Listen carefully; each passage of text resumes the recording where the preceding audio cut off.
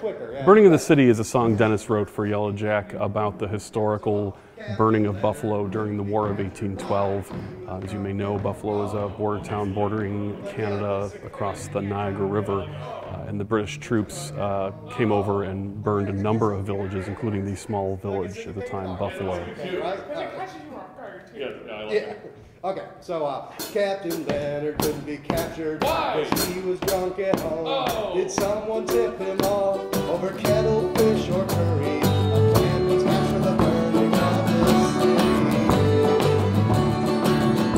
city. I recognize the, the 6-8 time as something that would go well with an Irish jig, and so the musical interlude that Elena and I play is uh, a jig that I wrote to go along with the tune, uh, following the, the, the melody, and I play the Irish tenor banjo.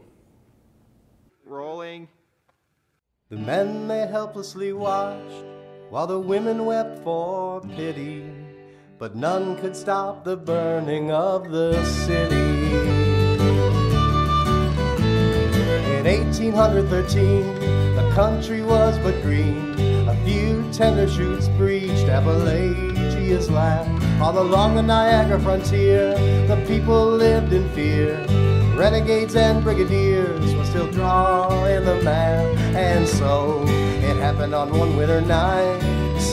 500 British regulars came from the Canadian side, sworn to execute brazenly and swiftly their orders for the burning of the city. They landed out of sight of Fort Niagara's mine, kept secret by the night. To Youngstown they went, captured the watchman there, tried to send up a flare to make the fort aware of their unwanted guest, and he paid for the act with his life but not before the British extracted the fort's countersign and they pointed their boots to the north with their Indian banditti bent upon the burning of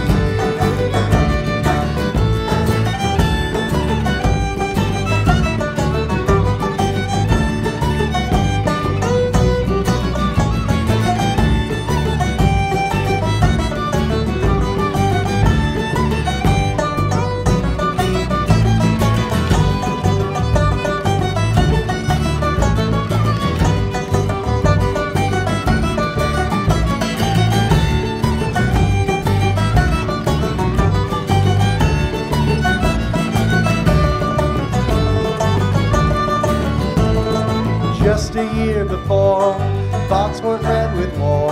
The officers from George crossed the river to dine. This time there was no chef, no oysters on brochette. British bayonets did the carving that night. Three score and five lost their lives as they woke.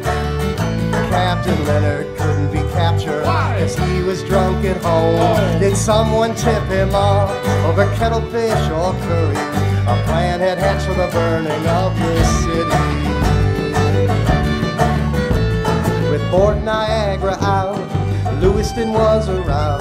The darkness filled with shouts of families bereft to help the helpless babes. The Tuscarora braves thundered into the fray, and we'll never forget. But the Brits continued their bloody march south down the military road to mouth. They poured on the pain,